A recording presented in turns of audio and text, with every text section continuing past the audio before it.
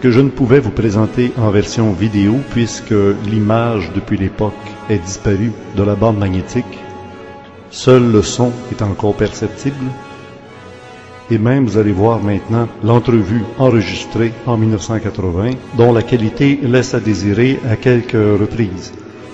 Mais je pense que le contenu vaut la peine d'être vu et entendu avec ce personnage particulier qui va se révéler un peu plus aujourd'hui.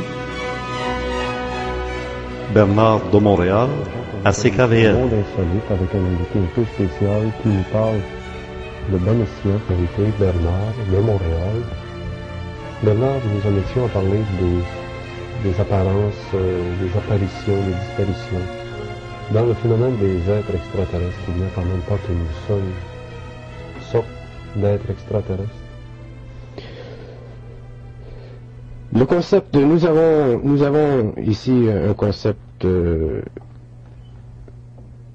qui, nous, qui nous aide à nous différencier de ce qui peut se passer, euh, disons, dans le monde de l'insolite. Mais il y a des planètes euh, dans la galaxie qui sont très très variées. Et les êtres qui évoluent sur ces planètes-là, euh, dans certains cas, ont des rapports très étroits avec l'homme de la Terre. L'homme a l'impression que il est encapsulé dans une planète et qu'il appartient à cette planète. Et ça, c'est une erreur, parce qu'il y a des hommes sur cette planète ici, présentement, qui ont évolué sur d'autres planètes avant. Dans d'autres vies. Dans d'autres vies, qui ont eu des expériences euh, dans des espaces qui sont très, très éloignés des nôtres. Euh, les hommes très évolués, les grands hommes, ce qu'on appelle les grands hommes, qui ont marqué euh, de leur personnalité l'histoire humaine, souvent euh, ont eu des expériences, des, des évolutions dans ces systèmes-là. Et leur grande sagesse provient du fait justement qu'ils avaient déjà compris beaucoup de choses. Alors c'est très important pour les gens de comprendre que les hommes physiques de la planète Terre ont des âmes qui ont très très bien pu participer à l'évolution dans des systèmes extérieurs au système solaire. Mais qu'est-ce que l'âme? L'âme, c'est un concept qui ne sera pas compris tant que l'homme n'aura pas contact avec l'éthérique. Euh, je vais vous en expliquer les aspects que je connais, mais euh, tant que l'homme ne pourra pas se voir d'une façon intégrale, il ne pourra pas comprendre ce que c'est que l'âme. L'âme, le concept de l'âme a été mystifié par la religion. Il a été mystifié par les doctrines ésotériques. Et c'est très normal parce que l'homme, lorsqu'il pense, il pense avec sa tête, mais aussi avec ses émotions. L'homme ne peut pas regarder froidement la réalité parce qu'il a besoin de, de la réalité qu'il connaît pour sécuriser son être, sa vie et tout ça. Si l'homme, euh, quand je parle de l'homme, je parle des masses en général, de tous ces millions d'êtres euh, qui parcourent le- les chemins de notre planète, s'ils étaient en contact avec la réalité telle qu'elle est, leur psychisme, leur esprit, leur faculté normale s'amoindrisserait et ces gens-là souffriraient de leur expérience, en général. Alors, en ce qui concerne l'âme, c'est la même chose. L'âme, c'est équivalent à un transformateur. C'est un centre d'énergie très puissant qui est parfait. Mais c'est un système d'énergie en évolution. C'est-à-dire que l'âme telle qu'elle est aujourd'hui chez un individu a parcouru un certain, euh, pendant un certain temps euh, des étapes évolutionnaires sur telle ou telle planète.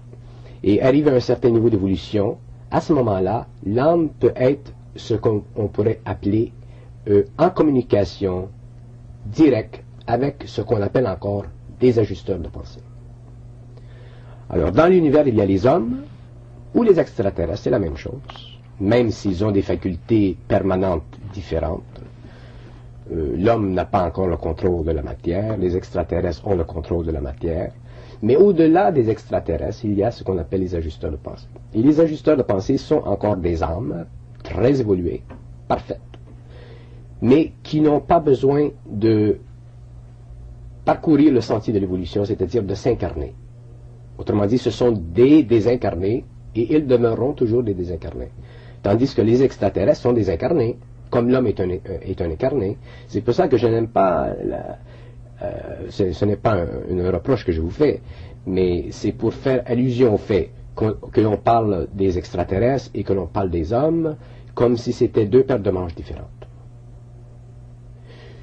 Lorsque l'homme aura le contrôle sur la matière, lorsque l'homme pourra créer des véhicules éthériques, lorsque l'homme pourra contrôler son temps, parce que l'homme ne contrôle pas le temps, il est assujetti à un temps psychologique qui est totalement normal, mais lorsque l'homme pourra contrôler son temps, et qu'il pourra voyager dans la galaxie et rencontrer ces êtres-là et échanger et, communiquer avec eux, appartenir à la Confédération euh, galactique, à ce moment-là, l'homme ne parlera pas d'extraterrestres.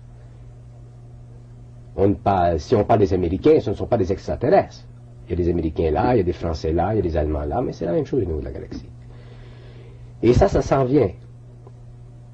Une des raisons pour laquelle je suis venu à la, radio, c'est pour faire comprendre aux gens, lentement, il n'y a pas de presse, qu'il y a des événements dans le monde qui se développent, quelle que soit l'attitude des masses, ou quelle que soit l'attitude des organisations, ou quelle que soit l'attitude des gouvernements ou des systèmes militaires, rien ne peut empêcher le fait que d'ici la fin du siècle, l'homme entrera en contact politique, scientifique, avec les civilisations d'outre-espace. Ça, c'est établi, c'est connu, c'est connu de tous ceux qui ont eu des contacts, mais ce n'est pas important pour moi personnellement de prendre une position d'évangélisation. Je veux bien parler de ce que je reçois par transmission pour le bénéfice des individus, sans pour cela prendre une position d'autorité ou une position de vente. Je ne suis pas un vendeur. Euh, je conçois que le processus sera très lent et c'est normal. Mais je sais que le processus est inexorable, qu'il a existé dans le passé et que ça fait partie des plans de l'évolution de la planète Terre d'entrer en contact avec les extraterrestres. Maintenant, la responsabilité est avec les gouvernements et les organisations scientifiques ou parascientifiques les scientifiques ont une responsabilité vis-à-vis l'homme et les gouvernements ont une responsabilité vis-à-vis les peuples. Et c'est de former des comités. C'est normal. Un type qui est dans le gouvernement ne peut pas, s'il n'a pas, pour une raison ou une autre, une expérience quelconque, euh, ou le tempérament qui va avec ça, n'a pas à être intéressé au phénomène OVNI. Mais il y a des gens dans le gouvernement, il y a des gens dans les organisations scientifiques qui sont intéressés à ça, il y a des individus qui sont des individus qu'on appelle respectables, des médecins, des policiers, des scientifiques qui ont vu des ovnis, il y a des gens qui les ont photographiés, et c'est la responsabilité des gouvernements et des organisations d'amener cette information-là au public, petit à petit, de faire de la recherche euh, sincère, au lieu de dénigrer le phénomène, parce qu'il ne faut pas prendre des gens pour des caves. On sait qu'en Italie, actuellement, il y a comme une vague. Au Venezuela Présentement, en Italie, il y a une vague d'UFO. D'ailleurs, il y a eu un reportage sur les nouvelles dernièrement, ce qui est absolument fantastique, parce que c'est assez rare que ça, ça débouche sur les nouvelles. Ce sont toujours des gens qui sont marginaux qui amènent les nouvelles à des gens marginaux. Mais l'Italie est très importante. Ceux qui ont lu ou ceux qui sont conscients du, rapport qui a été fait euh, dans le manuscrit de Jean 23, le pape décédé, le pape mentionne très bien dans son manuscrit qui, qui a été légué à Pierre Carpi que éventuellement il y aura dans le ciel des lumières blanches, vertes et bleues qui se déplaceront à, grande vitesse. Quand le pape a parlé en 1935, quand il a, fait ce manuscrit-là, alors qu'il faisait partie des Templiers, qui est une société secrète, le pape a très bien euh, dit des lumières qui se déplaceront dans le ciel. Le concept d'OVNI, le concept d'UFO de, n'existait pas dans ce temps-là. Les gens qui ont des yeux, qui ont de l'intelligence, ou qui sont informés, se doivent de prendre sérieusement ce qu'un pape dit, parce qu'un pape a un certain niveau de crédibilité. Et l'ONU aussi. Je vous, je vous ai euh, transmis ce matin un document concernant les Nations Unies. Il y a des efforts qui sont faits présentement au niveau des Nations Unies pour euh, former un comité scientifique euh, et aider à voir clair dans cette chose. Le problème avec les scientifiques, ça c'est l'argumentation qu'on nous donne, c'est que ils n'ont pas de méthodologie scientifique pour étudier les UFO. Mais qu'est-ce que vous voulez qu'on fasse? C'est pas parce que tu n'as pas une mesure pour mesurer l'œuf que tu dois dire mais l'œuf n'existe pas. On se laisse là-dessus, Bernard. On se retrouve dans un instant. On parlera à ce moment-là de Jean Miguel et de d'autres qui sont contactés ou qui se disent contactés.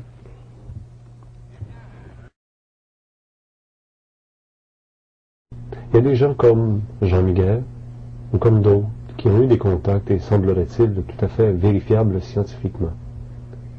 Jusqu'à quel point on peut suivre au-delà de leur mission ce qu'ils nous apportent.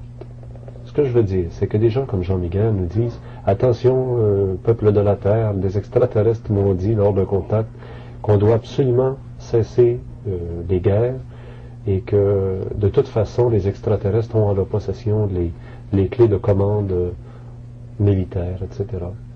Est-ce que des fois, il n'y a pas de risque que ces contactés outrepassent leur rôle premier? Ça, c'est une question qui est très intéressante.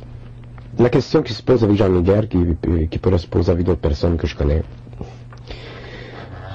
Euh, un type qui a contact avec euh, les extraterrestres, ce terme-là me fatigue, mais je vais continuer à l'employer.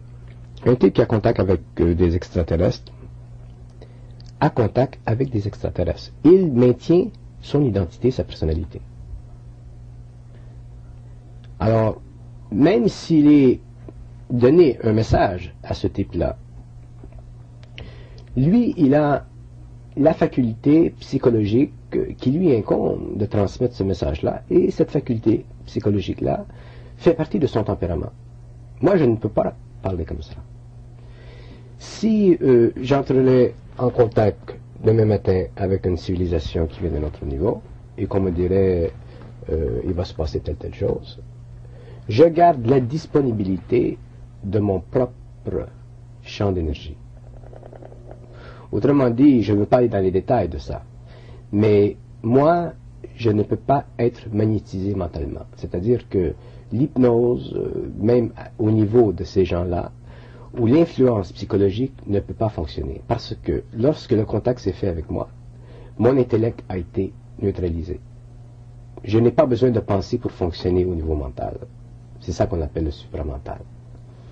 Mais un type qui doit penser, qui doit se servir de ses émotions pour activer sa personnalité d'une façon normale, est sujet aux lois mécaniques de la pensée mécanique et de l'émotion mécanique. Alors automatiquement, même si on lui transmet un message qui est d'autre valeur, à cause de son humanité, à cause de sa subjectivité, il peut, dans des cas qu'on connaît même, euh, traduire ce message-là en bouffonnerie, ou il peut le traduire d'une façon très sérieuse. Ça dépend de l'individu. Ce n'est pas le message des extraterrestres qui est dommageable à l'image des extraterrestres. C'est la façon dont s'y prennent les individus récepteurs qui transmettent au public ces images. Et ça, c'est un domaine euh, qui est très, très, très, très, très délicat. Moi, j'appelle ça des erreurs psychologiques. Si tu parles à un homme de quelque chose, ou si tu parles à une assemblée de quelque chose, pour en arriver à pouvoir traduire ce que tu veux dire et permettre que ce que tu dis soit totalement reçu avec, dans une bonne ambiance psychologique, il faut absolument que tu sois neutre. Si tu veux vendre quelque chose, si tu veux imposer quelque chose, si tu veux agir autrement dit avec une certaine autorité, tu recevras automatiquement des réactions des autres. Ça c'est normal, parce que les égaux, aujourd'hui, les égaux humains sont opaques, ils ne sont pas translucides.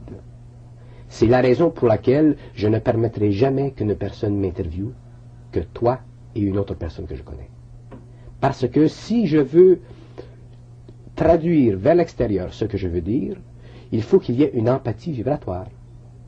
Si un type veut me mettre en boîte, je me me laisserai pas mettre en boîte. On ne peut pas me mettre en boîte. parce que je ne me sers pas de mes émotions pour conditionner mon savoir. Je, fais ce que je fais avec plaisir, je donne ce que je peux donner au niveau de l'information pour aider des gens à comprendre des domaines qui sont un peu perplexes, complexes, subtils, et ça s'arrête là. On veut, on veut, on veut pas, on veut pas. Moi, ça change rien. Tandis que dans le cas d'autres personnes qui ont été contactées, ils ont ce qu'ils appellent des missions. Le moment que tu as une mission, tu es sujet à une interprétation personnelle de, de ta relation avec le monde. Sans juger euh, le cas de Claude Vorillon, qui a, dit-il lui-même, eu des missions ou un contact, et qui aujourd'hui euh, réclame euh, de l'argent pour que les gens fassent partie d'un mouvement, qui se procure aussi des médaillons, qui achètent des livres, etc., etc. Ça, ça devient vraiment quelque chose de très commercial. Ça fait partie de la psychologie de tout ce mouvement. Moi, je ne peux pas faire de commentaires sur Claude Vorillon. Personnellement, entre personnes d'une façon privée, je pourrais parler jusqu'à un certain point, mais ce que Claude Vorillon fait, c'est ce que Claude Vorillon fait. Et ce qu'il fait peut être accepté par certaines personnes, rejeté par d'autres, mais en ce qui me concerne, ça n'a aucune importance. Ça fait partie de son, de son travail, mais en relation avec son tempérament. Je, si je fais une parenthèse, moi, je rencontre des extraterrestres, nous communiquons par télépathie, mais on ne m'impose rien. Parce que l'homme, essentiellement, il est libre et il doit être libre. Et ça, je veux en parler. Le danger de l'humanité, qui va être vécu d'une façon très intense vers la fin du siècle, c'est que les hommes ne seront pas préparés au contact avec les extraterrestres. Alors, les extraterrestres seront pour les hommes des dieux. Comme autrefois. Voilà. Voilà. Et c'est une des raisons pour laquelle, moi, en tant qu'individu, en tant qu'être humain, qui a une expérience à une échelle quelconque, je mets en garde les gens de la dimension de cette expérience. L'homme est libre. L'homme a le pouvoir de fonctionner d'une façon intégrale, autonome, et créative. Il n'a pas recouvert ses pouvoirs, il les, recouvrira éventuellement, mais lorsque ceci sera fait, il devra être totalement indépendant. Sans ça, la planète entière peut y passer. Et c'est très connu dans les milieux occultes, ce qui est un autre terme que je n'aime pas, mais je dois m'en servir pour expliquer un terrain fermé. C'est très connu dans les milieux occultes qu'il y a des extraterrestres, autrement dit des civilisations qui s'intéressent à l'évolution de l'homme, qui travailleront avec nous au niveau des sciences, et qu'il y en a d'autres qui sont retardataires, qui ne veulent pas que l'homme participe à l'évolution de la science dans la galaxie. Parce que l'homme vit encore aujourd'hui le principe de tuer. On n'a pas le droit de tuer. Et tuer, ça fait partie de notre vie de chaque jour. Oui, comment manger si on ne tue pas Voilà. La guerre, c'est un exemple le plus frappant. Alors, ce qui se produira, c'est que les, les extraterrestres viendront en grand nombre et les gens qui ont de bonnes vibrations, ce qu'on appelle des bonnes vibrations, c'est-à-dire que les gens qui ont une âme évoluée, seront absorbés dans ces systèmes-là, et il y aura une transmutation moléculaire de leur corps, de tous leurs principes, et à ce moment-là, ces gens-là pourront revenir sur le plan physique et fonctionner de façon harmonieuse entre eux et avec eux. Les gens qui ne pourront pas prendre le choc, ce qui est une grande majorité de la population humaine, euh, sévira dans le processus. Et ça, ça fait partie de ce que les gens appelaient dans le passé la fin des temps. Ce n'est pas la fin des temps, c'est la fin d'un cycle d'évolution. Il y en a eu un il y a 12 000 années dans le passé avec l'Atlantide, et il y en a un qui vient, et il y en aura d'autres. Ça fait partie de l'évolution. Celui qui vient, est-ce qu'il vient avant la fin du siècle? Celui qui vient viendra quand ce sera le temps. Il n'y a Personne qui le sait. On a des, idées, des dates approximatives qui nous sont données, mais rien n'est dévoilé. Un type qui vous dit que ça se produira à telle date, vous verrez que ça ne se produira pas cette date-là. Il y a des choses qui vont se produire dans cet environnement-là. Les grands médiums d'aujourd'hui, les gens qui sont très très sensibles, savent que c'est dans ce coin-là.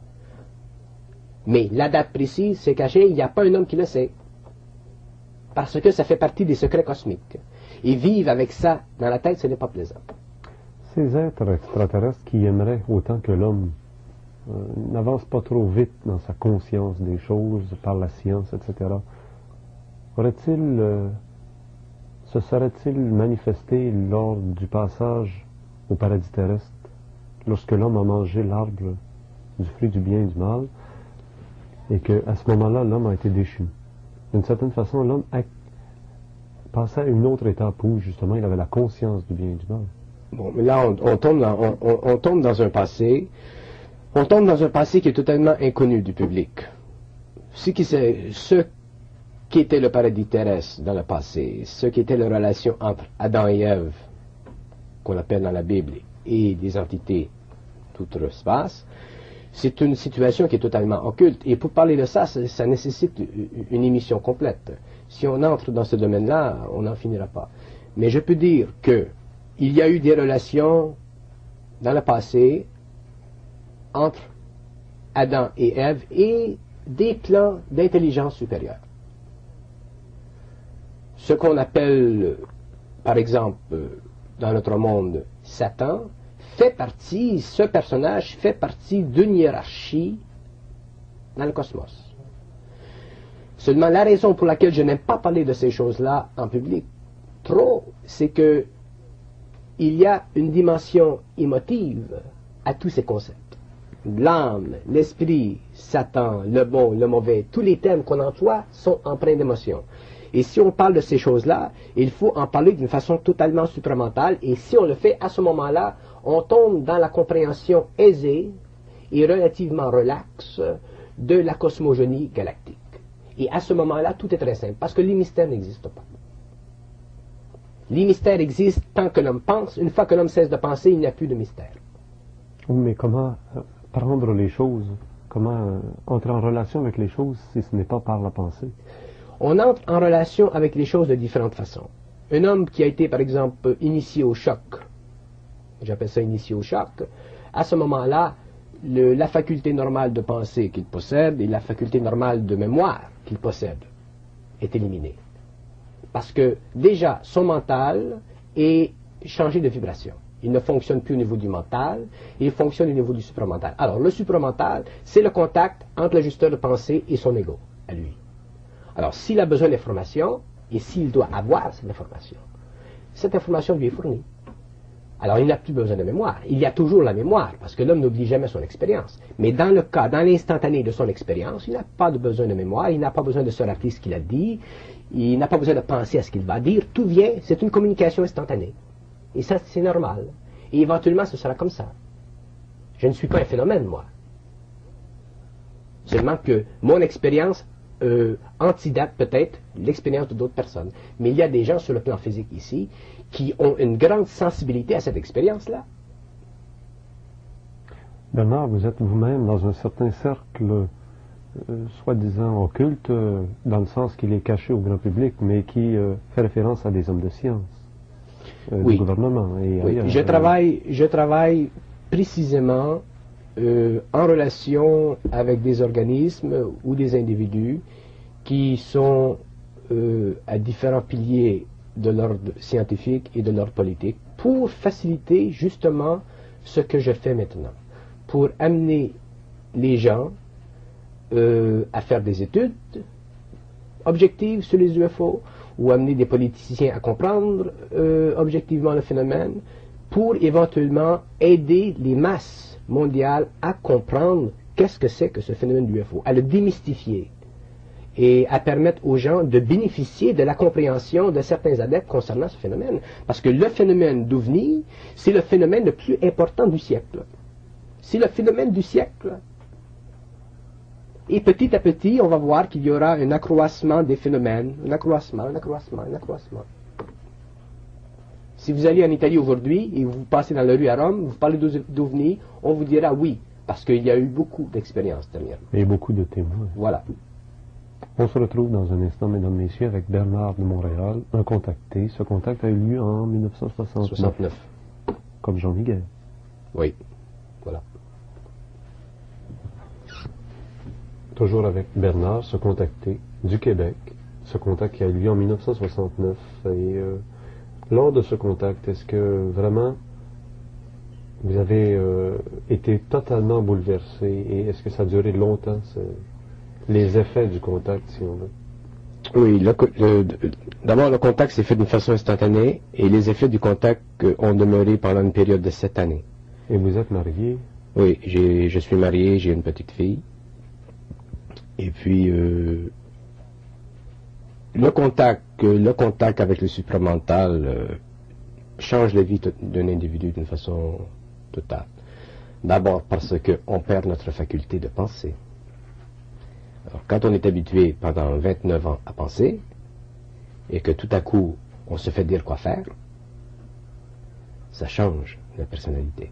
Vous savez, Bernard, je vous regarde puis vous me faites penser au type dans le film Rencontre du troisième type. Ce type qui, le jour où il a eu un contact, était complètement bouleversé. Il avait qu'une obsession, qu'une idée en tête, euh, des idées qui lui étaient télépathiques, si on veut, ou téléguidées, jusqu'au point de, se construire une montagne dans un salon. Mais votre épouse, comment a-t-elle comment a-t-elle réagi à, à ce nouveau personnage qu'elle avait dans C'est-à-dire que quand je suis arrivé à Montréal, euh, d'abord quand j'ai été contacté, il a fallu que j'aille, euh, que j'aille, je m'expatrie un peu pendant quelques mois. Et puis euh, quand je suis revenu à Montréal, mon épouse, je la connaissais déjà. Je n'étais pas marié encore, mais tout m'était indiqué à ce moment-là, parce que dans un état comme ça, il faut, il faut avoir une femme qui a beaucoup de compréhension, une femme qui est sage, une femme qui est bonne, une femme qui est patiente, euh, une femme qui peut, euh, pendant longtemps, pendant des années, même si elle ne le sait pas, elle, subir le joug de cette transformation en profondeur. Et puis, euh, tout s'est fait d'une façon très très normale, parce que on est donné beaucoup de force, on est aidé, et le fait qu'on sait ce qui se passe avec soi-même, euh, ça facilite les choses. Mais ça ne facilite pas nos relations avec les hommes. Jusqu'au moment où nous sommes arrivés à un état de stabilité vibratoire, où le mental il est calme, l'émotion il est stable, l'éthérique stable. Et à ce moment-là, là tu peux commencer à travailler avec les hommes et faire un certain chemin ensemble. Mais, et là c'est facile parce que tu n'as pas l'ego qui fait interférence dans le processus. Mais cet ego, justement, cet ego, je sais qu'en psychologie, on considère euh, que l'être humain se divise en différentes étapes, euh, le moi, le soi, le je, l'ego. Ce que l'homme appelle l'ego en psychologie, c'est ce qu'on pourrait appeler la petite manifestation de la grande manifestation. Mais l'homme n'est pas conscient de la grande manifestation. Il fonctionne toujours sur... C'est comme vous avez une patinoire. Le type, il, patine pendant 20 ans sur la patinoire. Il ne réalise pas que la patinoire, elle est sur un plus grand terrain. Il s'imagine qu'il ça fait 20 ans qu'il fait du patinage sur la patinoire. Il est dans l'illusion d'être dans la patinoire. Mais dans le fond, il est supporté par le grand terrain. Ou comme le poisson dans son aquarium. Même chose. que l'univers finit à la vite. Derrière l'homme qui pense, il y a un penseur. Mais l'homme maintient son identité par le fait, ou son ego, par le fait qu'il a l'impression que c'est lui qui pense. Et souvent, il va dire, oh, on dirait que c'est pas moi qui a pensé ça. Là, c'est là que vient, il appelle ça de l'intuition. L'intuition, c'est un niveau inférieur de cette communication télépathique cosmique. Si l'homme, si les channels étaient ouverts d'une façon totale, l'homme entrerait en contact télépathique mental précis avec d'autres intelligences sur d'autres niveaux d'évolution. Et à ce moment-là, il fait autre chose. Il y a une image qui est souvent utilisée lorsqu'on pense avoir une idée. On allume une lumière au-dessus de la tête de quelqu'un. Oui. C'est une image symbolique qui représente bien que l'idée euh, est, une, est une chose qui provient instantanément, comme d'ailleurs. C'est justement ça. Euh, si on, observait en plus grande profondeur les symboles de nos expressions, on verrait qu'il y a beaucoup de choses qu'on essaie de nous dire des autres plans, mais que l'ego ne voit pas parce que justement il y a cette densité, il y a cette illusion qui persiste. Et quand vous établissez ça au niveau de la science, des armements, du contrôle des terrains et des ovnis, vous voyez que le problème des ovnis devient un problème très très important. Parce que les égaux humains, les égaux militaires, les égaux en puissance euh, ne veulent pas admettre qu'il y a d'autres intelligences On dit oui, c'est normal, statistiquement, il devrait y avoir tant de planètes dans l'univers habité, mais ça c'est de la foutaise, c'est de l'intellectualisme. Parce que ça ne dit rien. Et lorsqu'on a des faits devant les yeux qui sont probants, qui sont plus près de nous que la statistique, on se refuse. Pour toutes sortes de raisons. On ne veut pas parler de statut, on ne veut pas parler de face. Un type qui est en puissance, un type qui est dans la politique, un type qui est chef chez les militaires, il ne veut pas parler de face. L'homme a un côté en lui qui est mâle, qui est robuste, qui est solide. Il ne veut pas euh, prendre les petites histoires, les petites conneries du paysan du Japon ou du paysan d'Amérique du Sud qui est entré en contact avec les ovnis. Et ils vont dire, pourquoi les ovnis ne viennent pas nous voir, nous, qui sommes les militaires? Parce que si les ovnis venaient les voir, eux, dans les champs d'aviation, qui sont les militaires, soit qu'ils feraient la bagarre, ou qu'ils ils, fermeraient totalement le dossier. C'est ce qui est arrivé d'ailleurs. Alors l'ego de l'homme, c'est le plus grand problème de l'homme. Ce qui manque le plus sur la planète Terre, c'est la psychologie. Et l'homme aura la grande psychologie universelle lorsqu'il sera fusionné avec ces autres centres d'énergie. La vie, elle est très simple, très facile. Mais l'homme doit comprendre la vie. Et tu ne peux pas comprendre la vie avec de la psychologie humaine. Parce que de la psychologie humaine, c'est trop encore trop simple, trop primitif. On va se retrouver tout de suite après les nouvelles à CKVL. On parlera ensemble, si vous le voulez bien, du triangle des Bermudes, de l'apport de Jésus-Christ et de cette évolution que l'homme peut faire individuellement et collectivement. Donc c'est un rendez-vous dans cinq minutes, mesdames, messieurs. Maintenant, Bernard de Montréal, qui est avec nous encore pour une heure, passera peut-être à quelques appels à la toute fin de l'émission. Pour l'instant, on tient encore les lignes fermées. Et c'est maintenant les nouvelles à CKVL.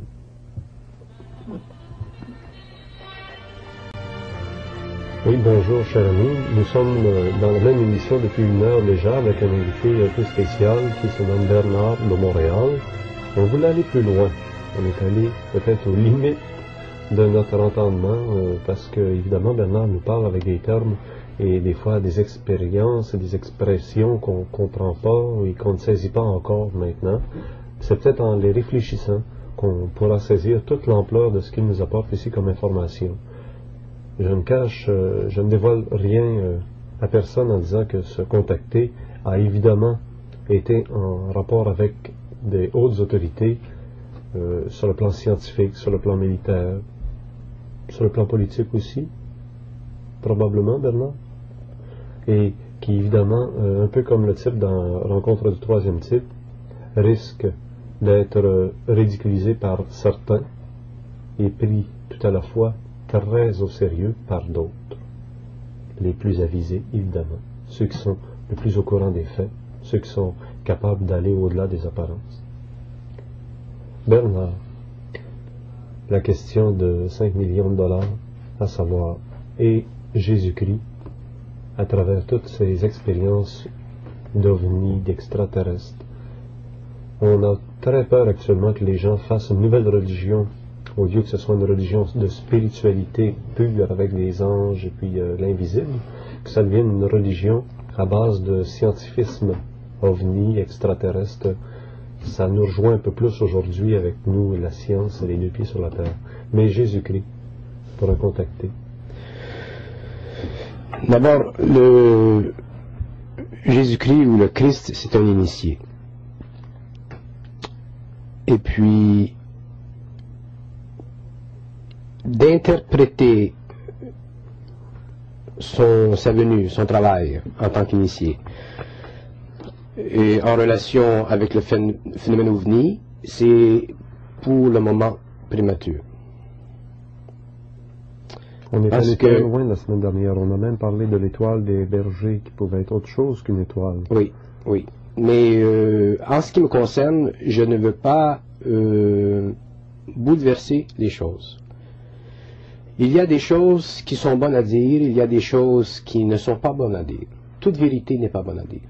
Parce que il y a dans la population des gens qui ont mené une vie pendant des années. Il y a l'Église, Il y a des ordres qui existent, des ordres qui sont même très nécessaires aujourd'hui parce que le monde est en chaos. Et il y a nos parents, les gens qui sont de caractère religieux, qui vont à l'église, tout ça. C'est, ce n'est pas nécessaire de bouleverser ces personnes-là avec des connaissances qui sont à moitié claires. Ceux qui connaissent les aspects cachés euh, du Nazaréen ne peuvent pas en parler. Parce que les aspects cachés du Nazaréen sont des aspects qui doivent demeurer cachés, et l'homme connaîtra ces aspects-là lorsqu'il aura contact avec l'éthérique. On sait que Jésus-Christ est passé en Égypte, lors de la fuite en Égypte. On sait que Jésus-Christ a eu une vie cachée pendant un certain temps. On sait qu'il est allé 40 jours dans un endroit désert. Ce qu'on sait, ce qui est écrit, si c'est vérifié, qu'on s'en serve pour sa propre éducation. Moi, je ne veux pas en parler. En public. Euh, les raisons sont très simples. Il ne s'agit pas de mélanger la religion avec les ovnis. Il s'agit de faire comprendre aux gens le phénomène ovni. Alors, ma position, c'est de laisser la religion intacte au niveau public, au niveau diffusion publique. Il y a des gens qui peuvent s'occuper de ces questions-là, qui peuvent faire de la recherche ou quoi que ce soit.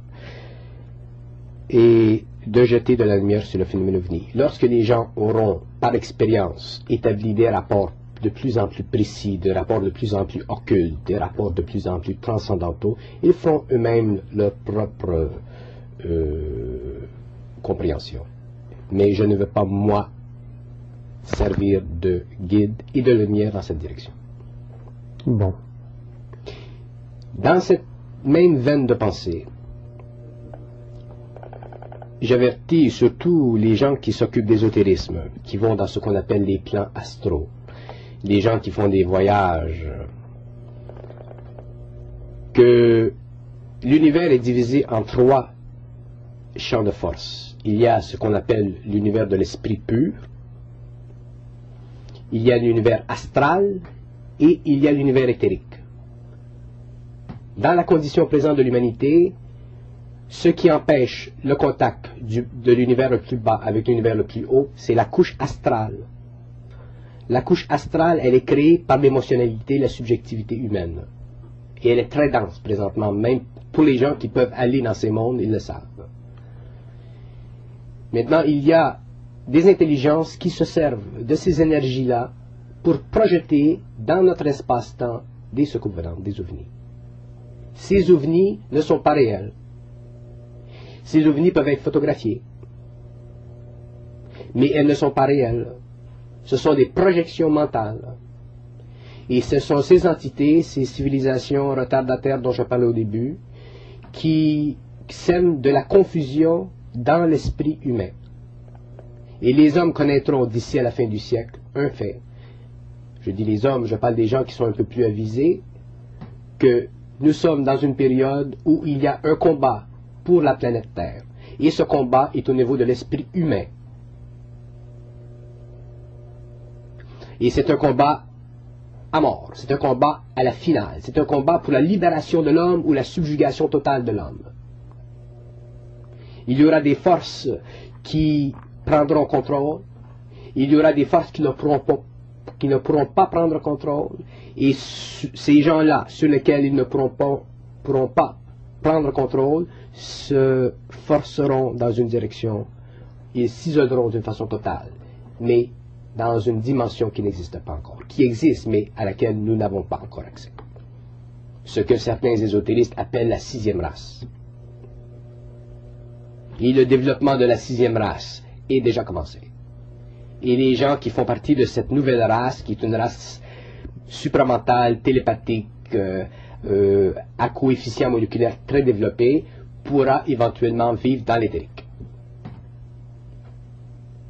Ce combat se joue entre qui et qui actuellement? Ce combat se joue entre les forces de différents astros. Il y a plusieurs astros. Il y a, l'astral nord, il y a l'astral sud, il y a l'astral ouest, il y a l'astral est. Ces différentes zones de temps astrales sont contrôlées par des forces plus ou moins intelligentes. Les forces très intelligentes ne participent pas à l'astral. Ils sont au-delà de l'astral. Mais il y a des forces plus ou moins intelligentes qui contrôlent, qui sont en combat constamment pour cet astral-là, et la planète Terre fait partie de l'astral ouest.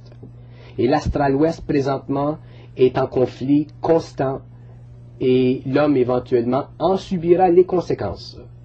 Parce que si, ce qui est produit dans l'astral au niveau émotivité humaine doit retomber éventuellement dans l'expérience de l'homme. C'est pour ça que l'homme doit souffrir avant le passage de l'autre côté. D'ailleurs, dans la révélation de Saint Jean, c'est mentionné. Ceux qui ont des yeux pour voir et des oreilles pour comprendre ou pour entendre verront très bien que dans la révélation de Jean, parce qu'oubliez pas hein, que les prophètes de l'ancien temps étaient des psychiques, c'était des gens de haute sensibilité. C'était des gens qui avaient contact avec des forces très évoluées, qui leur donnaient de l'information. Mais naturellement, ils écrivaient ça dans des termes, dans une symbologie de leur temps. Aujourd'hui, ça nous apparaît comme euh, euh mais c'est très précis. Très précis. On pourrait parler du triangle des Bermudes. C'est peut-être aussi en relation justement avec l'astral euh, et l'astral négatif. Le triangle des Bermudes, euh, c'est un autre domaine encore de l'expérience humaine qui est sujet à la au rire, malgré qu'il y a des gens qui prennent la situation très sérieuse. Euh, il y a eu des expériences qui ont été enregistrées. Mais encore là, l'homme n'est pas prêt à accepter l'inévitable l'homme n'est pas prêt à accepter ou à comprendre ce qui est au-delà de son sens matériel. On veut toujours amener ce qui est extrasensoriel à un contrôle psychologique, scientifique, humain. C'est totalement ridicule parce que ça fait partie d'une autre dimension. L'astral, pour les gens qui le savent, ont un, un contrôle très net dans le triangle des Bermudes le triangle des Bermudes sera éventuellement un point de pénétration des forces astrales matérialisantes dans le monde occidental. Donc négatif Je ne vais pas employer le terme négatif dans cette condition ici. Euh, mais je vais dire qu'il y a des forces, euh, parce que le terme négatif, pour moi, n'a pas la même signification. Négatif, positif, euh, ce sont des rapports de force mais parce que le négatif, il existe réellement dans l'homme, comme le positif existe dans l'homme. Pour qu'il y ait du courant, il faut qu'il y ait les deux pôles, du positif et du négatif. Voilà, c'est juste. Mais l'homme euh, crée plus de négatif que de positif. L'homme, à cause de ses émotions, de ses émotions, crée beaucoup plus de conditions impropres à son évolution que de conditions propres à son évolution. Mais pour retourner au triangle des Bermudes, il y a des forces qui ont l'intention de retarder l'évolution humaine et c'est par le biais du triangle de Bermude que ces forces se feront connaître et se feront sentir. Et ces forces-là sont très puissantes. Il y en a une en particulier qui est concentrée dans la région de Pluton. Et c'est inutile de brancher le télescope sur Pluton ou de brancher le télescope sur Vénus pour voir s'il y a des extraterrestres. Parce qu'on ne voit rien. Ils sont dans une autre dimension. Mais ces forces-là, euh, ont un pouvoir énorme et le triangle des Bermudes est pour eux un centre de pénétration dans notre atmosphère. Lorsque des extraterrestres commettent des actes de désinvolture, lorsque des extraterrestres euh, euh, tuent des animaux pour des fins d'expérience, ce ne sont pas des êtres qui méritent le respect de l'homme. Et ce sont des êtres qui éventuellement devront être combattus. D'ailleurs, il y aura un conflit entre la planète Terre et les centres secrets de son évolution et des extraterrestres d'ici à 200 ans. Alors ce n'est pas parce qu'on parle d'extraterrestres que ce sont des dieux. Alors les gens qui parlent d'extraterrestres comme si c'était des dieux sont les premières personnes qui, qui vont se foutre les doigts dans l'œil. Et je le dis à tout le monde. Je le dis surtout aux ésotéristes qui ne sont pas assez euh, conscients de leur propre réalité. Si l'homme se connaît soi-même, lui-même, il peut connaître les autres, les autres hommes et les extraterrestres. On se retrouve dans un instant avec Bernard pour parler cette fois des anges, des archanges, etc. Et pourquoi pas à un moment. Il n'y a pas de ligne ouverte. Et M. Bernard vient de nous signifier de ne pas ouvrir les lignes. Ce serait difficile, évidemment, de, de passer du coq à l'âne avec des gens qui interviendraient, évidemment, sur toutes sortes de sujets. Et euh, là, on a une ligne de conduite à suivre. Continuons dans cette ligne de conduite. Passons maintenant au plan des anges, des archanges. On sait que les anges sont des êtres qui ont apparu autrefois. Je pense que depuis fort longtemps, les anges n'apparaissent plus.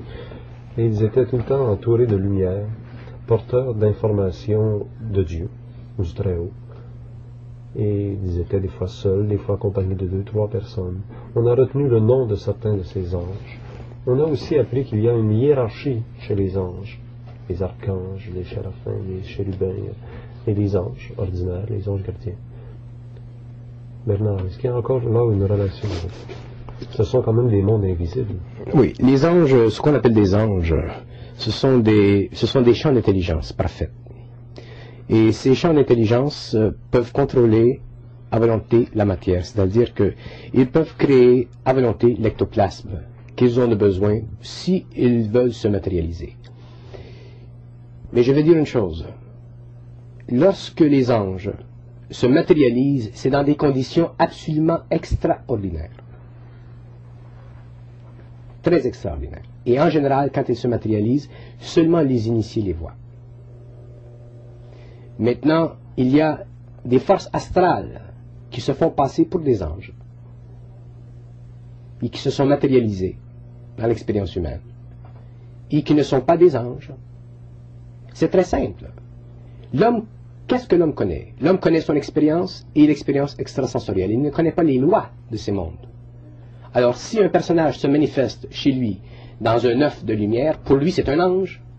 Si le personnage dit je suis l'archange telle telle chose, pour lui c'est un archange. Mais dans le fond, ce n'est pas un archange. C'est un imposteur. Comment peut-on distinguer la différence entre les vrais et les faux? On le sait soi-même. Et c'est tout. C'est là la situation où l'homme en est rendu. L'homme en est rendu à un point où, s'il n'a pas lui-même en lui la clairvoyance assez forte pour ne pas se faire mentir, il se fera mentir. Parce que truquer euh, euh, qu'un homme truque un autre homme, ça c'est normal. Mais quand l'homme entre en contact avec des intelligences qui sont d'une autre dimension, il n'a plus de chance. La seule chance qu'il a, c'est son être intérieur. La sensibilité intérieure, ça, ça ne ment pas. Et à ce moment-là, il n'est pas influençable. Mais s'il n'a pas cette sensibilité-là, il peut être en danger d'influence. On sait que dans la plupart des anciennes mythologies grecques, persanes, hindouistes, euh, l'homme est souvent confronté à des épreuves extrasensorielles et il doit toujours les surmonter par lui-même. Toujours. Toujours. Moi, j'ai déjà dit à ma femme, si jamais tu me dis que tu as vu une soucoupe volante, je te crois pas. Pourtant, il y a des gens qui en voient. Oui, oui. Mais le point, c'est de toujours comprendre qu'on ne doit pas être influencé de l'extérieur. Et ça, c'est un point qui sera mis de plus en plus en, en, en vue, en valeur au fur et à mesure que les années viennent. On a eu une expérience malheureuse dernièrement, euh, en Amérique du Sud, de gens qui se laissent influencer. L'homme doit être totalement... Si vous, vous sentez quelque chose, si vous êtes sur la même longueur d'onde que moi, je le serai et vous le serez et on peut travailler ensemble. Mais si moi, je vous impose, je vous influence, à ce moment-là, vous êtes en danger de perdre votre propre identité.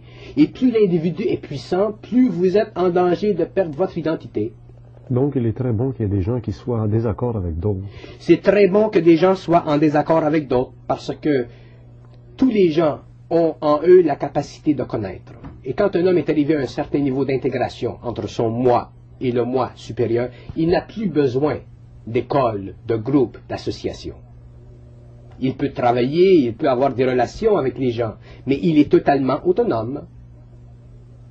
Moi, ça me fait rien de rencontrer des gens qui appartiennent au Rose qui appartiennent au Diamant Vert, qui appartiennent à différentes sociétés ou organisations. Ça me fait rien. Mais je n'entrerai jamais dans des organisations. Oui, vous n'êtes pas euh, d'ailleurs comme... Ce n'est pas nécessaire. Parce que l'homme a en lui la capacité de connaître. Et c'est pour ça que je parlais de psychologie. Ce qui manque le plus à l'humanité aujourd'hui, c'est la psychologie. Et à la fin du siècle, lorsque les barrières seront rompues et que le seuil sera dépassé, à ce moment-là, l'homme connaîtra et il n'y aura plus d'organisation il n'y aura plus de société. L'homme sera en relation avec d'autres hommes, il y aura des hiérarchies de vibrations, de connaissances. C'est évident qu'il y a des hommes qui ont une sensibilité plus développée que d'autres, ça c'est normal. Mais ça ne fait pas de ces hommes des dieux. Ce n'est pas parce que moi je parle d'une certaine façon que vous, vous devez m'écouter pour ce que je dis. L'homme doit se réaliser sur le même plan d'évolution que l'autre homme. On est tous en évolution. On a tous, sur le plan de l'âme, la même valeur. Sur les autres plans, on travaille de la même façon qu'on travaille ici, mais ici, en général, on fait des gaffes. On se prend pour un autre. Il y a beaucoup de gens que j'aimerais rencontrer. Il y a beaucoup de gens qui ont des choses à dire intéressantes. Mais parce qu'ils se prennent pour des évangélistes ou des gens qui ont quelque chose de spécial, je ne veux pas les rencontrer. D'abord, je sais je connais par mon contact ce qu'ils font. Je sais si ce qu'ils font est bon, parce que je n'ai pas besoin d'eux pour me dire qu'ils sont bons ou qu'ils sont faux, ou qu'ils sont vrais. Alors, s'ils sont vrais, à ce moment-là, j'aimerais les rencontrer, mais je dois attendre souvent 4 ans, 5 ans, 6 ans, 7 ans avant de rencontrer ces gens-là. Lorsqu'ils sont arrivés à un certain niveau de maturité, d'équilibre, de cadre, là, on se rencontre et c'est comme si on s'avait toujours connu. Il y a une forme de contact que j'aimerais qu'on aborde ensemble, c'est le cas de Yuri Geller, qui reçoit des messages des extraterrestres, qui s'impriment automatiquement sur des bandes magnéto, euh, de magnétophone et qui sont adressés à des chefs d'État ou des scientifiques. Yuri Geller, donc, a des contacts encore, mais ces contacts se font avec qui? Et je sais que vous êtes en relation intime oui, avec c'est pour ça, c'est pour ça que je ne veux pas pour le moment parler de Yuri Geller parce que à cause des relations qui existent euh, entre nous et d'autres personnes, euh, euh, pour le moment, c'est mieux de garder la situation sous couvert. Mais plus tard, j'en parlerai. Mais vous savez qu'actuellement, vous frustrez beaucoup de gens de dire souvent, pour le moment, il ne faut pas parler. De... Euh, vous nous expliquer pourquoi il y a tant de choses sur lesquelles il ne faudrait pas parler? Frustrer les gens, frustrer les gens, pour moi, ça n'existe pas. Euh, si les gens sont, sont sages, s'ils sont sensibles, euh, d'abord, dans toute situation, dans toute situation concernant l'insolite, c'est très bon d'être très patient. Parce que je dis à tout le monde, qu'il n'y a rien à comprendre. Tout est su. Alors, ce que les gens ont de besoin, ce n'est pas de l'information de moi. Ce qu'ils ont besoin de comprendre, ce sont les principes de base qui mènent au développement de leur, de leur force intérieure pour en arriver éventuellement à pouvoir entrer en communication vibratoire ou télépathique avec d'autres niveaux. Ce n'est pas parce que je donne de l'information, je pourrais baver au téléphone pendant, euh, un an. C'est pas ça qui va donner aux gens de la connaissance. La connaissance, ça ne se donne pas on l'a en soi. De l'information, ça se donne. Ce n'est pas de la connaissance de l'information. De la connaissance, c'est en soi, chacun l'a en lui-même. Il s'agit que ça, que, ça monte, qu'on le sente. Et c'est plus important que je donne les principes pour arriver à ça, au développement intérieur des individus, que leur donner de l'information. Voilà. On se retrouve dans un instant, mesdames, messieurs. Sur un autre plan, sur une autre dimension, avez-vous un rôle? J'ai fait un travail que je connais, et euh, d'ailleurs je connais mon avenir. Et le travail que je fais, je le fais d'une façon parfaite, c'est-à-dire que je le fais d'une façon totalement dirigée. Je ne peux pas devancer le temps. Je ne peux pas aller trop vite. Je fonctionne psychologiquement en relation avec des vibrations qui ne sont pas psychologiques je ne fais pas ce travail d'une façon psychologique. Je le, fais d'une façon totalement mécano-créative. Il contrôle mon cerveau et je fais mon travail en tant que personnalité. Euh, la dimension du travail, la qualité du travail, elle est connue. Je sais ce que mon travail fait sur le plan vibratoire. Et je sais combien de temps je dois le faire. Mais de là à donner à mon travail une qualité quelconque, Ce n'est pas nécessaire. Des gens qui euh, auraient peut-être peur de dire, ben oui, peut-être ce type-là est en relation avec des mondes invisibles, d'accord, mais peut-être des mondes invisibles négatifs ou dangereux ou euh, maléfiques. C'est une très bonne question.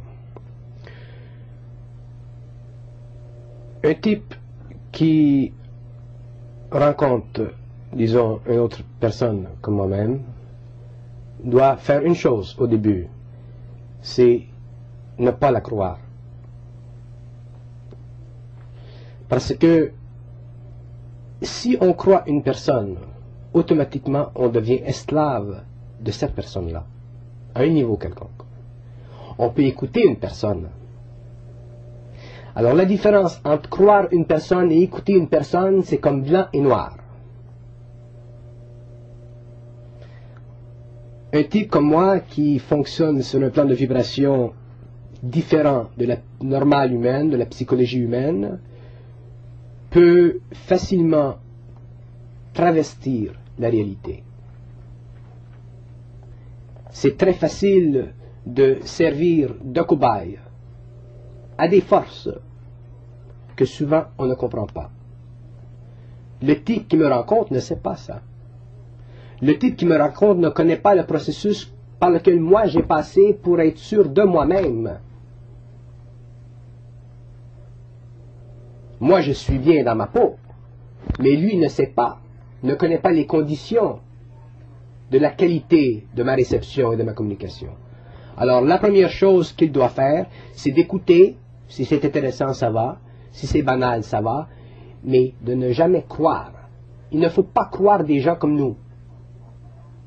Il ne faut pas croire les gens qui ont des contacts avec les plans suprasensibles. Il faut les écouter et les accepter si on se sent bien avec eux et les foutre à la porte si on se sent mal. Et ça, c'est important. Ça, c'est plus important que toute l'information que je peux donner sur le triangle des Bermudes. Parce que c'est là que ça se joue. Il y a des gens qui sont assez sensibles en dedans pour sentir qu'un personnage est bon. Il est consistant, il est bon ça va, on est à l'aise, c'est vibratoire, il y a une sympathie. Mais dès qu'un type commence à s'interposer, à établir une autorité sur un autre individu, quel que soit le niveau de sa connaissance, là, ces gens-là sont en danger. Et on est dans le temps là où ça se produit et où ça va se produire encore plus. Oui, il y a beaucoup de faux prophètes ou de vrais prophètes qui euh, prévoient que pour d'ici la fin du XXe siècle, ce soit euh, les guerres. Les faux prophètes, les vrais prophètes, ça revient justement à ce que je dis. Autrement dit, les prophètes ou les psychiques ou les gens qui vont à la télé, parce qu'on a de la télévision, les gens qui sont connus dans le monde font quelque chose. Mais souvent, ces gens-là ne savent pas ce à quoi ils ont affaire sur les autres plans. Parce que, euh, je vous donner un exemple. Vous prenez Adolf Hitler. Hitler, il avait des bonnes intentions au début. Mais quand il a commencé à mélanger sa politique avec de l'ésotérisme, de, l'occultisme, il s'est mis en communication vibratoire avec les forces de l'astral, et éventuellement elles ont pris contrôle, et éventuellement elles ont mené l'Allemagne où l'Allemagne est venue. Et beaucoup d'Allemands en Allemagne durant ce temps-là ne voyaient pas ça. Il y a même un grand psychologue qui, qui a fait partie du mouvement nazi en Allemagne. Pourquoi? Parce qu'ils ont cru. On ne peut pas se permettre de croire. Et dans le temps qui vient, on ne peut pas se permettre de croire même les extraterrestres. Parce que ce sont les gens qui peuvent foutre la patente en l'air le plus vite possible. Et je mets la population en garde contre ça. Surtout les gens sensibles, les gens qui sont voyants, les gens qui se promènent dans l'astral et tout ça. Il faut une intégration de la personnalité. Il faut être sûr de soi-même. Les deux pieds sur terre. Les deux pieds sur terre. Je comprends qu'il y a des gens qui prennent des fuites vers les, les, mondes spirituels, et ça c'est normal, parce que quand on commence à être touché, on devient spirituel, on veut faire du bon, on veut aider l'humanité, mais éventuellement on doit redescendre et prendre racine dans la terre et garder la tête où elle est, pour qu'il y ait une balance. Et à ce moment-là, on peut faire un travail qui est normal, qui est sympathisant et qui ne chambranle pas les choses, pour rien. Maintenant, le rôle des individus, je pense que maintenant on le saisit très bien.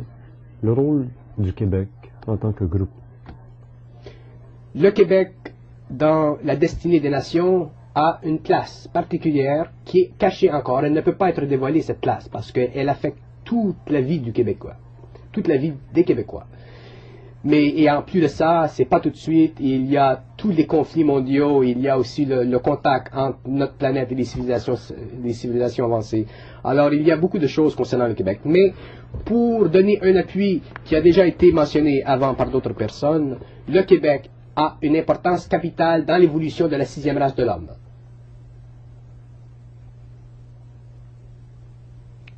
quasi exclusif au Québec ou ailleurs sur la parce que c'est mondial. C'est mondial. Oui, seulement qu'il y a un centre d'énergie à Québec qui est dans l'éthérique d'ailleurs, qui est, qui est vu et qui est connu par des gens qui peuvent aller dans l'éthérique. Et ce centre d'énergie-là est directement en relation avec deux autres points sur la planète Terre, dans l'éthérique, où sont euh, établis les laboratoires scientifiques de la sixième race. Et ces deux autres points, est-ce qu'on peut les connaître? Oui, on peut les connaître, ces points-là, si on a les vibrations. Il faut pouvoir pénétrer dans cette dimension vibratoire-là pour voir les laboratoires. Parce que les laboratoires sont dans le sous-sol de la Terre. À l'intérieur de la Terre, l'Agartha Ils sont, je ne vais pas dire si c'est l'Agartha, je vais dire qu'ils sont dans l'intérieur de la Terre. Parce qu'il y a Shambhala, il y a Agartha, ce sont des concepts hindous qui ont été amenés dans, dans le monde occidental. Et il y a des rapports de personnalité cosmique entre ces points de civilisation cachés et un cercle auquel j'appartiens, et c'est pour ça que je ne vais pas parler parler de ce, de, ce cas. Mais les laboratoires de la sixième race euh, sont dans l'invisible et sont imprenables et sont intouchables. Et les gens qui vont et qui iront dans ces laboratoires-là, iront par le biais du corps éthérique, comme les extraterrestres se promènent d'une dimension à l'autre. On a l'air de faire pitié, nous, sur la surface de cette terre. Euh, il se passe beaucoup de choses en dehors de nos euh, perceptions. La planète Terre, présentement, est dans un état de mort. Et elle sera éventuellement revitalisée. Mais la planète Terre présentement meurt sur tous les plans. Et l'homme n'a plus la conscience créative et la volonté créative et le pouvoir créatif de lui redonner la vie. La conscience doit être totalement altérée. D'ailleurs, l'astral de la planète Terre sera détruit lorsque le nouveau cycle commencera. Et c'est pour ça d'ailleurs que les gens pourront voir directement avec leurs yeux dans l'éthérique. Mais pour que ça soit fait, l'astral de la planète doit être détruit. Il y a des gens qui nous disent qu'on entre bientôt dans l'anneau d'Alcyone. L'anneau d'Alcyone, euh, c'est une dimension de temps qui est équivalent en longueur d'onde à quatre fois notre capacité mentale actuelle. Et la raison pour laquelle nous appelons ça un anneau, c'est parce que The Ring est un symbole ésotérique, c'est un symbole cosmique qui ouvre et qui ferme la destinée d'une personne ou d'un cercle ou d'une race ou d'une nation.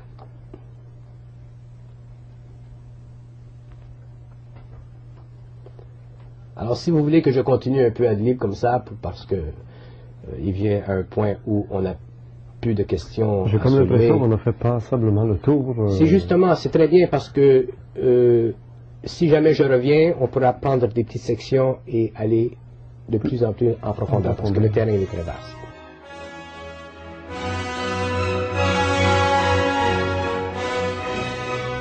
Nous venons de voir et d'entendre la deuxième partie vidéo de cette émission de radio. La première partie vidéo est disponible dans la salle 607, ainsi que la toute première partie. Supramental, avec Bernard de Montréal, à CKVL. Ceci est la toute fin de l'émission de radio qui a duré près de deux heures.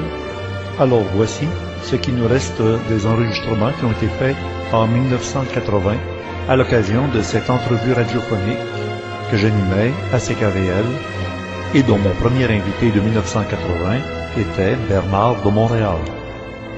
Alors si vous voulez que je continue un peu à dire comme ça, parce que euh, il vient un point où on a plus de questions. J'ai comme l'impression qu'on a fait passablement le tour. euh, C'est justement, c'est très bien parce que euh, si jamais je reviens, on pourra prendre des petites sections et aller de plus en plus en profondeur parce que le terrain il est très vaste. Mais il y a sept points que je veux mettre à clair aujourd'hui. Le premier point, c'est que l'homme de la rue, l'homme qui s'intéresse à la recherche, qui veut se trouver, qui s'intéresse à l'ésotérisme, a besoin d'une chose, c'est la patience. Qu'il soit patient.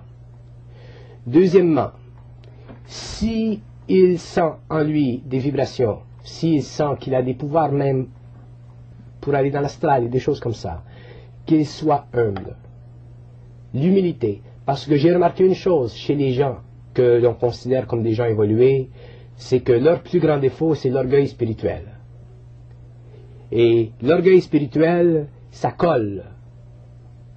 Et ça ne décolle pas tant qu'on ne comprend pas l'illusion de ça. Parce qu'un homme ne peut pas avoir la connaissance s'il a de l'orgueil, parce qu'il capote. Parce que la, connaissance n'appartient pas à l'homme, elle est là. L'homme la reçoit comme un radio. Le radio ne, commence pas à sourire quand la connaissance passe à travers. Il la transmet. L'homme, c'est la même chose. Et lorsque la connaissance passe, il est content parce que c'est une bonne vibration. Mais la connaissance, elle est là. Ce qui va se faire dans 2000 ans, c'est déjà connu. Alors, si ça passe à travers le tuyau, il ne s'agit pas que le tuyau fonde. La troisième chose, c'est que les gens qui sont occultes, ou qui sont occultifiés, ou qui s'intéressent à l'ésotérisme, ou qui s'intéressent à toutes ces choses du paranormal, doivent réaliser une chose, que qui est important, ce sont eux. Ce sont leur sensibilité intérieure, qu'ils puissent sentir intérieurement leur moi, le grand moi, le penseur derrière le penseur, et qu'ils suivent, euh, qu'ils développent l'intuition pour en arriver éventuellement peut-être à avoir un contact direct télépathique. Parce qu'une fois qu'ils ont ça, ils ont le courant d'or, ils ne peuvent pas, ils ne peuvent pas faire d'erreur. Alors qu'ils soient influencés, qu'ils rencontrent n'importe qui, n'importe où, n'importe où, dans n'importe quelle dimension, ils n'auront jamais crainte. Parce qu'un homme qui a la crainte, il est dans l'ego. Un homme qui est dans l'ego ne peut pas voir la lumière, il crève. La quatrième chose, c'est que ceux qui sont dans les organisations ufologiques, les gens qui ne sont pas nécessairement spirituels, mais qui s'intéressent à ces choses-là parce que ça fait partie de leur imagination, ça fait partie du fantastique, devraient apprendre une chose, c'est de laisser parler avec confiance ceux qui ont eu des expériences. Parce qu'il ne faut pas s'imaginer qu'un type qui vit dans les bas-fonds de l'Amazon ou qui vit dans les bas-fonds de Tokyo a un intérêt particulier de entrer en contact avec des journalistes pour leur dire qu'il a vu une, une. C'est une expérience qui lui est tombée du- sur la tête, du ciel, comme on dit, Effectivement. et lui, il raconte les faits. Alors ces gens-là, les gens qui font partie de ces organisations-là, devraient développer un peu plus de, de consanguinité humaine, de sentiments d'empathie, pas à, à- à se laisser embarquer dans des histoires, mais à sentir, à développer le sentiment pour faciliter la communication et les échanges. Et qu'ils se parlent entre eux, qu'ils parlent d'une relation, d'une organisation à une autre organisation. D'ailleurs, ce qui manque présentement dans le monde, c'est qu'il y a des gens qui savent, mais ils sont incapables de communiquer ce qu'ils savent à l'extérieur. Il y a des branches, il y a des courants, il y a des circuits fermés. Un aspect de mon travail, c'est d'ouvrir les courants. Moi, si je veux parler éventuellement au président, d'un pays, je devrais être capable d'en arriver à prendre le téléphone et l'appeler. Pour des raisons sérieuses. Alors, quand les hommes pourront travailler à ce niveau-là, qu'il y aura assez de confiance entre eux, pour qu'un général puisse parler à un journaliste, pour qu'un journaliste puisse parler à un, fonctionnaire d'État, quand les gens pourront se parler, parce qu'ils auront une- un ego qui, sera un peu plus élastique, qui seront plus humains, il y aura beaucoup de communication sur la planète.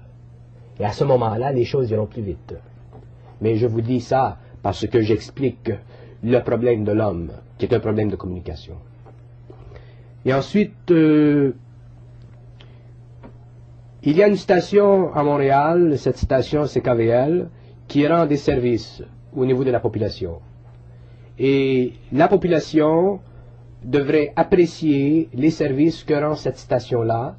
Et lorsqu'il y a une situation où on a une expérience insolite au niveau des ovnis, on devrait la communiquer à cette station. les gens ne devraient pas se gêner. Et ceux qui sont responsables pour euh, les études, les observations, pourront à partir de cette station faire de la recherche. Il faut concentrer les, communications. Il faut que les gens aient un point de centralisation. Ils ne savent pas où aller, ils ne savent pas où mettre la tête. Et ce n'est pas toujours à la police qu'il faut communiquer ces informations. Parce que souvent la police n'est pas équipée pour transmettre l'information au réseau d'information. Ils sont occupés, ils ont d'autres choses à faire. Souvent, si ça tombe sur un policier qui, qui n'a pas de sentiment pour ces choses-là, euh, il va prendre le rapport. Mais c'est pas la même, c'est pas la même, c'est pas le même intérêt. Il faut le côté intérêt.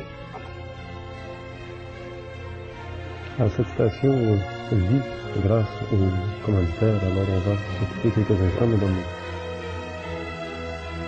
Malheureusement, comme vous l'avez sans doute noté, Bernard de Montréal n'a pas eu le temps de nous donner les sept points dont il parlait et l'enregistrement que nous avons conservé de cette émission se termine ici.